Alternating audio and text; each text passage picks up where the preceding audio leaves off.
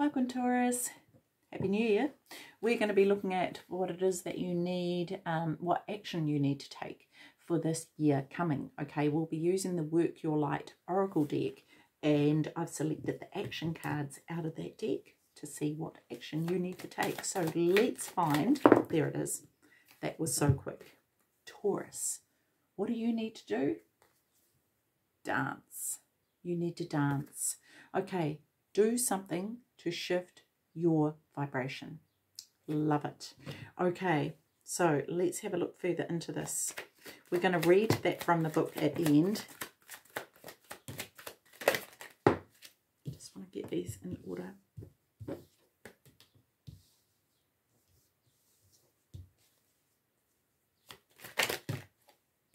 Too many cards all at once. I want them more more purposeful than that.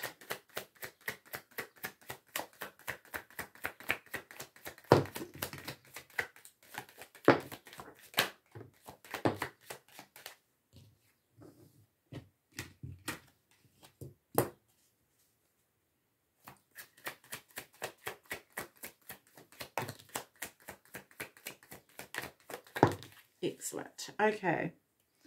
So I'll just pick this card up off the floor. Okay, Taurus. It's really interesting here. I'm going to start with this one here, which was the first one out.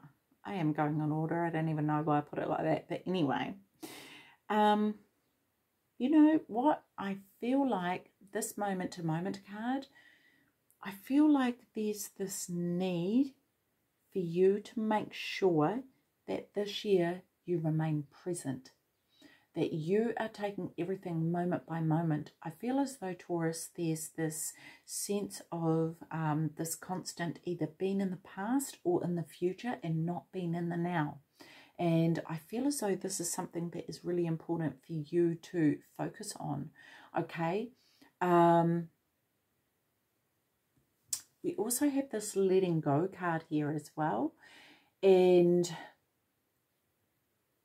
I there's this um this sense of expectations is what's coming to me here of letting go of any expectations of others any expectations of circumstances and primarily of yourself. And when I say letting go of expectations I don't mean allowing people to disrespect you or, or putting up with stuff that you wouldn't normally put up with from people. It's okay to expect to be treated with respect, to be able to trust people and expect to be treated in a decent manner. That's fine. But it's the expectations of the outcomes that needs to be let go of okay? Things from your past also that you're carrying around have become a burden for you. The expectations are also quite a burden for you. Expecting far too much from yourself in a very small amount of time can put too much pressure on you. Okay, so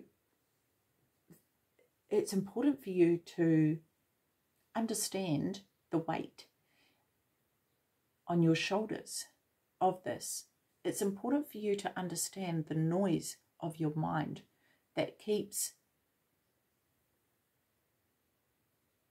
harping on at you, or even people outside of you who won't give you a break, who expect you to go in a particular direction that suits them.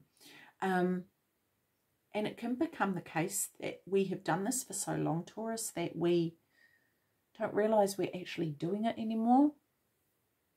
And it's time for you to start looking at the areas in which potentially you may be doing that to appease other people, to suit other people, to keep the peace. Okay. Um, yeah, I feel like there's um, I feel like there's the sense of feeling quite worn down for you, and um, going into this new year, feel like there's this this need for you to take each step that you take throughout this year consciously, not blindly. Because as you stand, you know, if you imagine yourself, right, walking forward, if you stand in the spot that you're in before you take that step and become aware of everything around you, become aware of the direction of the step that you are taking, become aware of why you are taking that step. What is the intention? What is the purpose? Who is it for?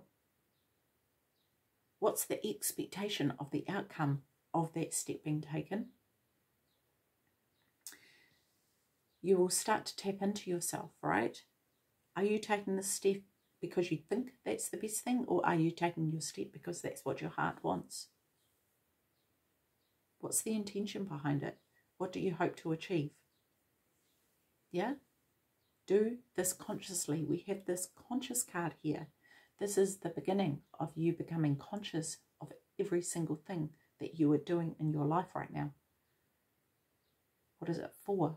Even when you go to speak, why are you speaking? What do you hope to achieve out of it? Are you are you thinking before you speak? Are you conscious of what is coming out? It's a time, it's a new beginning for you here, Taurus. There's a massive, massive shift happening happening in this year, and um, there's a different direction. A different direction being taken for a lot of people that is necessary. And the, this direction for you is quite a crucial one. Okay, we have this existence card here. This is your, this is really interesting actually, because this is your a major arcana card here, and I'll get to the other ones that have come out. But this ex existence, I feel like this is the beginning of you real uh, uh, here's the thing i feel like you know about the connection of of at least for some of you anyway you know about the connection of oneness you know that everything is um, connected right? But i feel like this year there's going to be a deeper understanding of what that truly means for you. And you're going to actually grasp this to a level that you could not imagine.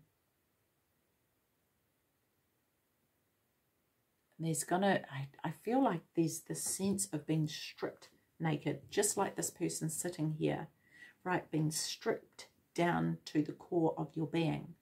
And it doesn't necessarily have to be a negative thing right?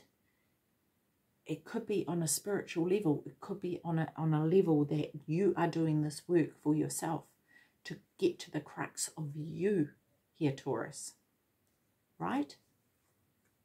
Because we have this past lives card here and it's kind of like going back through history. Now, when I was talking earlier about letting go of the past, that's about holding on to things that are no longer serving you, repeating stories in your mind that keeps negativity alive. Letting go of that, that's necessary.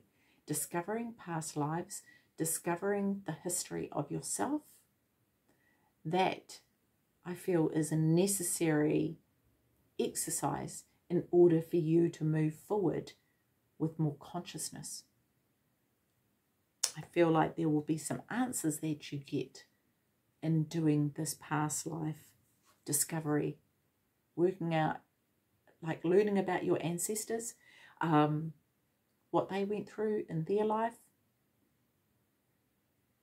because all that is part and parcel of you getting to here, right? And remembering Taurus in the past, um, I don't know if it's to you, but I have said before, and I truly believe this, we are the ancestors, right? We've had so many lifetimes now. We are the ancestors. So when you are tapping into the existence of who you truly are, when you are becoming conscious of that, when you're letting go of all the stuff get, that gets in the way of this connection, that is when you discover who you truly are. And that is cause for celebration, right? This is you finding your people. This is you learning to do things differently. This is you letting go. Because at the end, at the end of the day, we are still human. We are here having this human experience. So make the most of it. Enjoy it. Have fun. Get outside and jump in the puddles. Go do things that you used to do when you were a child that you love doing that you no longer do. Look at the things, look at the ways that you've restricted yourself from living the, the fullest life that you can live. Okay? Look at the ways that you stay in your mind that stop you from being who you truly are, that stop you from letting your hair down and having fun, that pollutes your world, that stops you from building a solid foundation that you want and deserve. Yes, allow yourself to have a new beginning, to have the faith that whatever direction you go in, it's the direction that is necessary for you because you are coming from the heart here. Yeah? Look at this. We have two steps of a whole new beginning here. This is incredible. And this is something that is life altering because this is your soul journey. This is this is a, a common thread throughout your lifetimes that you are walking into this year incredible. Like, this is incredible. Absolutely. Politics. I feel like this is something to be mindful of. Taking off the mask, even if there's things that you are not proud of, being honest with yourself about those, forgiving yourself for, of, for those, letting go of that, dropping the burden of that. Okay? and understand that in the moment, none of that matters. What matters is the now. Okay? So, in saying that, dance. Do something to shift your vibration. Okay, so let's find this one here. Dance. Here we go. Life is always moving if you resist this ever changing flow, your energy will become stagnant and you will fall out of flow with the universe. The universe has a mysterious, intelligent force, a natural rhythmic beat which governs all of life. One of the best ways to shift your energy, frequency, and vibration is to put on some music and dance along with it. When we dance unrestrained, our spirit takes over, and with each new bop, sway, and kick, we are rocked back into harmony with the rest of life. Get unstuck by doing something that shifts your vibration. Put on some music, dance unrestrained, and fall into the frequency of life. In doing so, your body will begin to learn how to be moved by your intuition, which is connected with this systemic beat. If dancing isn't your thing, then simply do something that you would not usually do to shift the energy. You cannot solve a problem with the same mind that created it, right? And you cannot attract a different experience without changing your energy first. I love that because this card here reminds me of that too, right? And these and right next to one another. Look at the difference in the energy here, okay? Imagine dancing outside in the rain, yeah? Anyway. It's time to shift things up and to find a way to dance along with the beat of life.